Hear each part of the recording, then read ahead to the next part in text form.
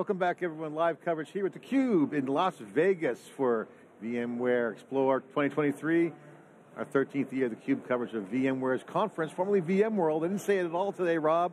Rob Stretch is my co-host. I'm John Furrier. Our next guest, Brad Parks, CUBE alumni, good friend of theCUBE, also the Chief Product Officer, of Morpheus Data. Great solution. The timing of what we've talked about before in theCUBE is now prime time. The inflection point of the hockey stick of multi-cloud as multiple environments come together in cloud native. Perfect tailwind for you and your business. Congratulations, great to see you. Yeah, nice to see you. Timing is everything. Is there like a, a swear jar for like every time you say VMworld, you have to add a, a oh, thing? Or? I, I did it twice yesterday. It's muscle memory. Yeah. Uh, it will always be a VM, VMworld to us, right? Yeah. yeah, we do so many interviews on the Cube. It's on the intro. It's like, okay, we're live here at VMworld. Oh, damn, I forgot. anyway, love the colors here. I got to say, VMware Explorer's colors are popping. Great on the on the photos uh, here the, at, with the artwork. We got the um, blue shirt memo. Great, great stuff. Well, let's get into Morpheus. So a lot of action. Obviously, multi-cloud's been percolating and sauteing around as an industry direction. Everyone's got multiple things. Yep. Um, they're not always working together at all. Um, and as customers realize that the clouds have their agenda, yep. and everyone, vendors have their agenda, that they have to kind of lean in a little bit. And that's something that we've observed and, and all the insiders are now seeing, seeing it, but now everyone's trying to realize that, you know, to make stuff run, yeah. it's hard. okay, but there's now new things coming to the table. This is something that you're involved in. Give us the update on Morpheus data, where you guys are obviously on the floor. We went to your booth. What's going on with you guys? What's the current state of Morpheus? Yeah, we've, um, I mean, we've grown probably 40, 50% year over year over the last several years. And I think one of the, you know, one of the best things for our business has been the ever increasing complexity of IT. Like, we're still trying to solve the same problem 25, 35 years later. But now, like, IT was supposed to get simpler.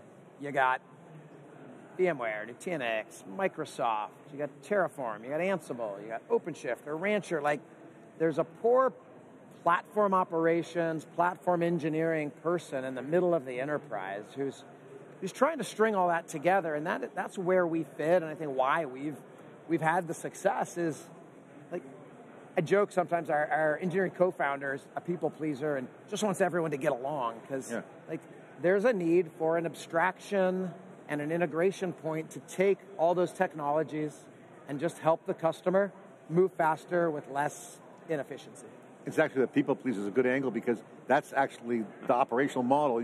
They got to work together. Yeah. And, and it's hard. What's the big problem that you're solving? Because, again, there are a lot of blockers that are mostly either some sort of industry or some sort of infrastructure or product, are there blockers that you guys are taking away, or what what has to happen next for the, kind of the hockey stick inflection yeah. point for you know multi-environment you know environments to work work and run? Yeah, oh for sure. The um, I haven't changed my shtick in a few years, but I think the what's led to a lot of that growth is now enterprises are realizing that all right, I've I've done cloud-enabled technologies and my HCI and my integrated converged infrastructure.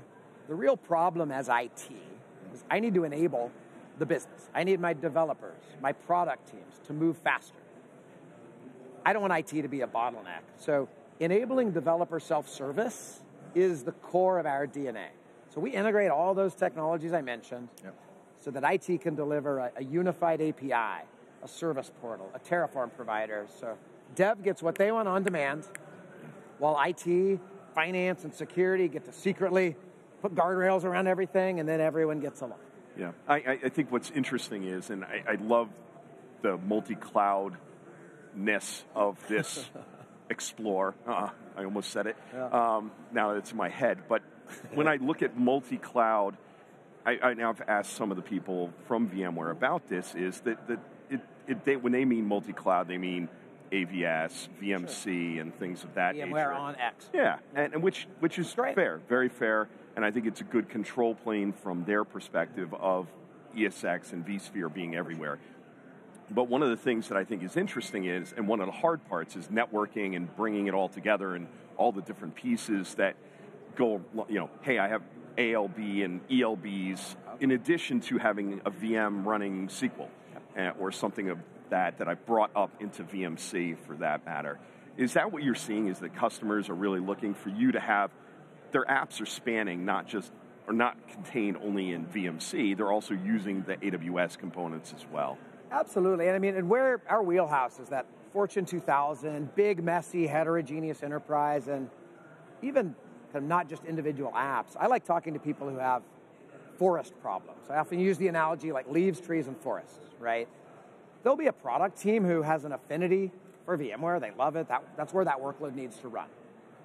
That same company will do an acquisition, and that's a Google company. Or there's a product group that's big fans of AWS. But when it comes to that provisioning experience, the governance, cost management, that's a forest problem. You shouldn't be doing that differently across every environment. So let, let those teams use the tools they want, but don't reinvent the wheel or try and skill everybody up on everything. There's a need for that, that abstraction layer. And that, that's really, I think, what has led to that is that's how we reduce complexity. And the, the consequence of not doing to what your model is, keeping the old way, is slow, slow. takes people's time, but you got to chase after everything. Ah. Someone has to like make sure rules of engagement or things are in line. You're constantly chasing. You've got to chase it, and then skills gaps. We were all joking. We all have kids in college. I'm just going to tell my daughter like, go be an automation engineer who knows VMware and AWS, and you'll you'll print money because there just aren't enough smart people who get that platform engineering automation. And so, yeah. being an abstraction, we're like, hey, do one API, one control point, and we'll handle all the inter interdependencies. Brad, I want to ask you something. We've been riffing on the cube on this yeah. topic, and I think you're perfect to kind of contribute to it. We were saying the following: developers, open source. You see KubeCon, CNCF. We love the the momentum in cloud native. The developers pretty much have become the de facto body with their choice. You see selections of code. Someone says, hey, I got a better product. Well, if they don't adopt it, then the world has voted. The collective intelligence of developers weighed in, and people figure it out. Okay, it's a better product based on my crowd and not just friends. So check. That's, love that. Now the platform engineering world is booming. Rob and I have been observing and talking about since KubeCon publicly, like this group is kind of the SRE, got rid of that SRE word. Okay, okay that's Google site reliability, what does that mean? But platform engineering has kind of become that job. Hardcore, engineer, infrastructure, play together. I got a lot of stuff. Abstractions coming. They seem to be the folks that are going to be looking at this hard. And our, our thesis is that this group of people will be the de facto standards bodies. What they like yeah. will probably decide who gets to be in that role, managing that abstraction, because it's so important. What's your, your reaction to that? Do you have a comment? Is that true? Are we just overthinking it? What's your, what's your vision? I mean, if developers can to make choices at the coding level, there might be an opportunity with open source and open conversations to, what's your, what's your take? It's, I mean, that's actually how we came to be. We were created by a team of 25 of the top 1% developers on the planet who had one IT guy to go modernize applications at dozens of companies. They were doing platform engineering and platform operations before it was cool. We productized that and became a company. That role, if I fast forward seven years, now there's a head of platform whose job it is to enable those development teams. But there aren't enough talented people to hand carve CI CD pipelines and yeah. build that. So that platform layer, you're spot on. That's the new IT, right? I mean, we love our storage yeah. guys, yeah. VMware people, but it's IT. Solving yeah. that platform problem. Cloud is IT. Yeah.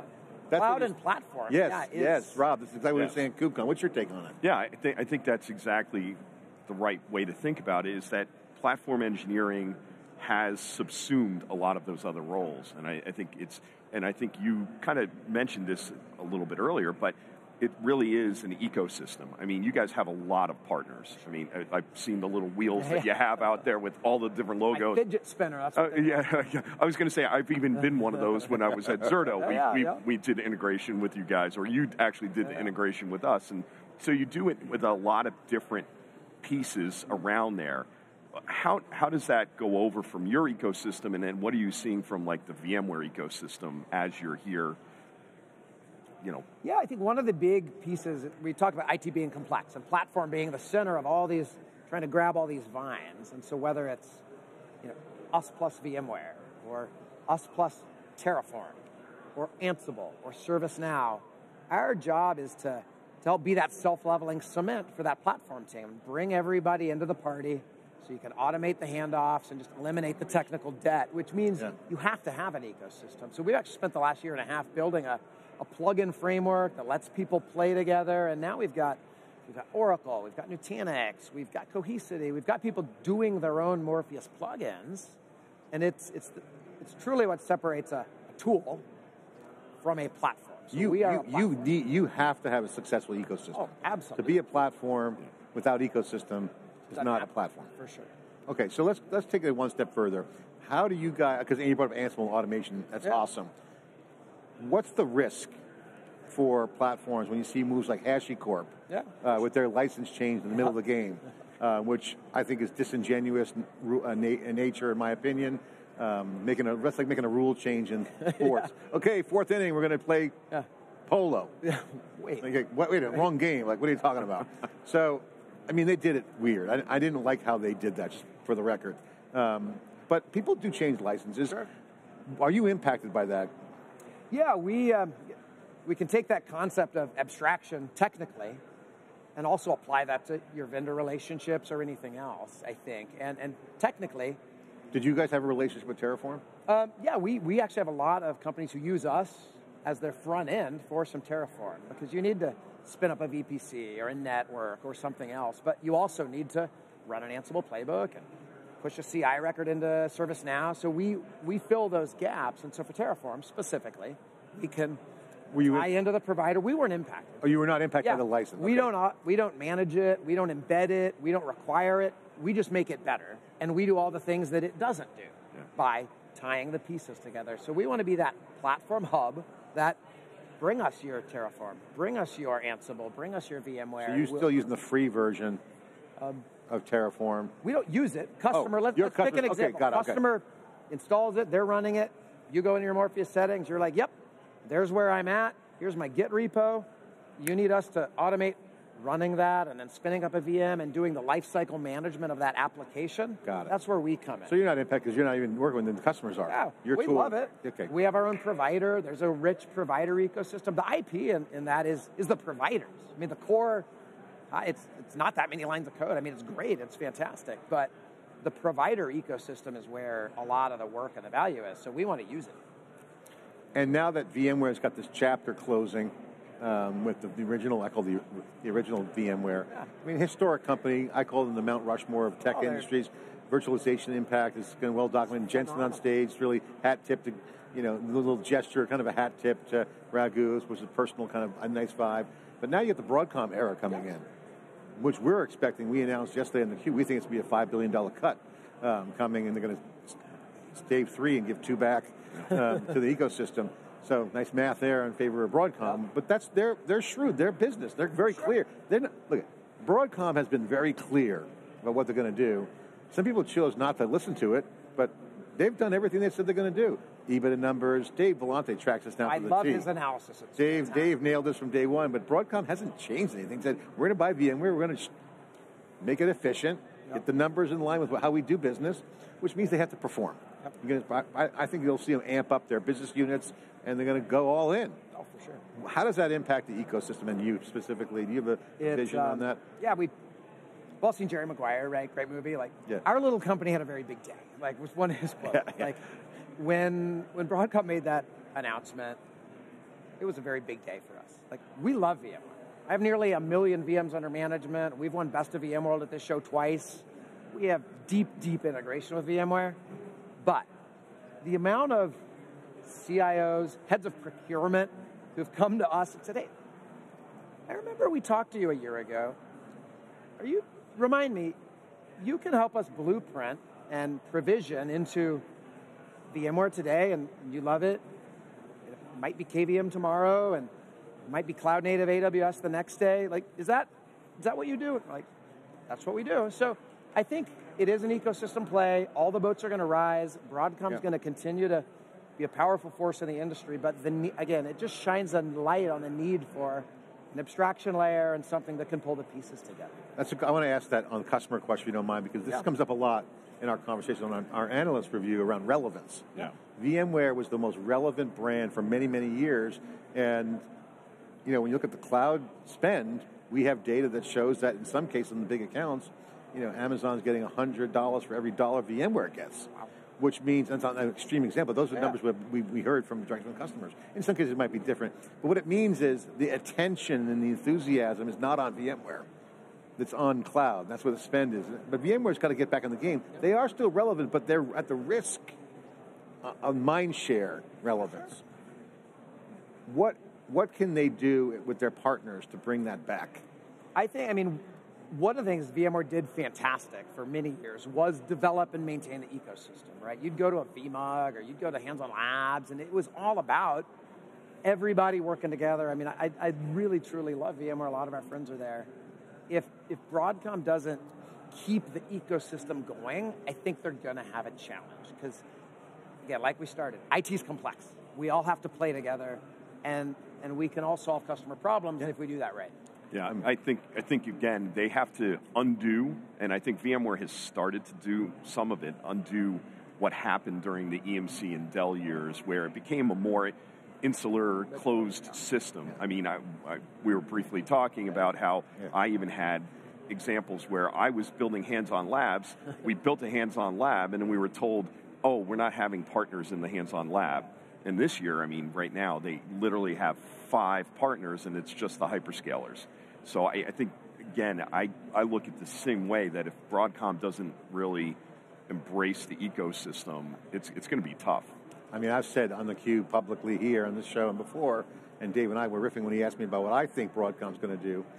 If they're motivated by numbers, which they are, and, and I think they're going to be true to the brand, they're going to give people some chance to run.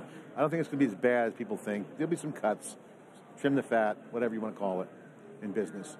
But when you look at the numbers, they have to get results.